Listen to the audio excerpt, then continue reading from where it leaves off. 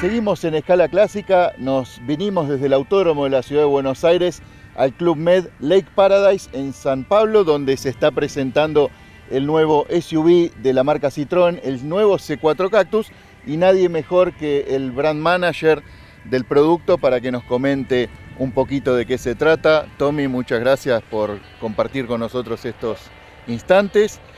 Y bueno, ¿qué, decir de este nuevo producto que bueno, ayer hacían hincapié en que iba a ser un punto de inflexión en la marca, por lo menos en Argentina?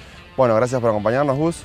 Sí, el nuevo SUV C4 Cactus eh, viene, digamos, a marcar un antes y un después, ¿no? Eh, en, la, historia de la marca en Argentina. Va a ser el Citroën más vendido por la marca en el país desde su presencia aquí. Eh, así que realmente tenemos muchos, muchos, todos los cañones puestos sobre él. básicamente estamos con tres grandes pilares ¿no? para apoyarnos en este plan al 2021 de transformación de, participación de la marca eh, con el objetivo de llegar al 5% de market share. El producto, donde evidentemente el nuevo SUV C4 Cactus juega un papel preponderante, eh, lo que es los servicios también, ofrecer servicios que sean transgresores, diferenciadores, ahora les te voy a contar un poco, y también siempre, por supuesto, eh, la calidad, ¿no? eso es algo que es como transversal, para todo lo que hagamos siempre la calidad va a estar en la base, eh, en los cimientos de todo lo que emprendamos. Bueno, ahora me vas a ir explicando un poquito todos todo los 12 eh, hadas que, están disponibles en, la gama, que además eh, lo, diferencian de la competencia, viene a un nicho que está muy nutrido en Argentina, que está en pleno eh, desarrollo en pleno crecimiento, cada vez con más, participantes, así que bueno, eh, ustedes arrancan muy bien porque se colocan por arriba de todos, ningún otro competidor tiene tantas las asistencias que tiene este vehículo, bueno, y el tema diferencial del diseño ya es propio de Citroën.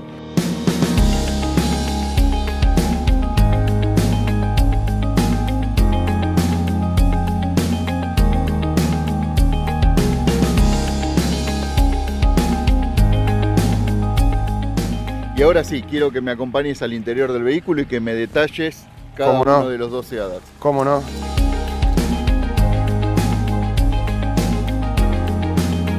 Contame cuáles son las 12, los 12 hadas, las 12 ayudas que son, muchas de ellas son inéditas para, para el segmento porque sí están presentes, algunas las conocemos, en modelos bastante más, más caros. Exactamente. Bueno, lo más importante que podemos darle las hadas va a ser eh, que estamos ofreciendo en el nivel Shine el Pack Safety que está básicamente comprendido por tres equipamientos que son el Active Safety Brake que es el freno automático de emergencia que es a través de una cámara que se ubica aquí encima del retrovisor que está midiendo digamos lo que sucede adelante y que puede reducir o detener completamente el vehículo según la velocidad que estemos circulando hasta 140 km por hora. Tenemos también lo que es eh, la alerta de colisión frontal, que también funciona todo a través de la cámara que está en el parabrisas, donde nos va a avisar eh, la cercanía del vehículo de delante para que frenemos, donde se va a poder configurar eh, qué parametrización, si dejamos mucho espacio, poco espacio o lo mínimo para que ya nos alerte. ¿no? Lo que tenemos también va a ser la alerta al cambio involuntario de carril, ¿no? que es también a través de la cámara cuando están las, líneas demarcadas ¿no? de, donde estamos circulando y a más de 60 km por hora te va a alertar de los cambios de carril a través de un testigo luminoso en el tablero y de una alarma sonora también. Eh, mientras no pongas el giro. Mientras no pongas el giro. Cuando vos pones el giro, eh, toma que vos estás haciendo voluntariamente el cambio de carril. Perfecto. Tenemos también otra que, otra que es eh, una ayuda a la conducción, ¿no? Evidentemente, lo que es la alerta a la falta de atención del conductor, que es que el vehículo analiza todo el comportamiento, eh, si está manejando en forma errática, es decir, que hace muchos cambios de carril o va o tiene demasiado, exactamente, entonces ahí te hace una alerta de que prestes atención a la ruta. Eh, después un equipamiento que está de serie en todos los, todos los niveles es el, indicador, el Coffee Break Alert o el indicador de descanso recomendado, que básicamente es cuando uno está manejando a más de 70 km por hora durante dos horas, te arroja un cartel que te recomienda que pares a tomar un café eh, para no perder la atención en el, manejo. También tenemos el indicador de subinflado, ¿no? que es muy útil para cuando tenemos alguna pinchadura. Eh, nos va a indicar justamente en el tablero del vehículo si tenemos alguna una goma desinflada.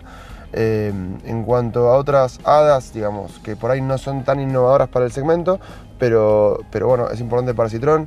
Es el primer Citroën que ofrecemos con Grip Control, ¿no?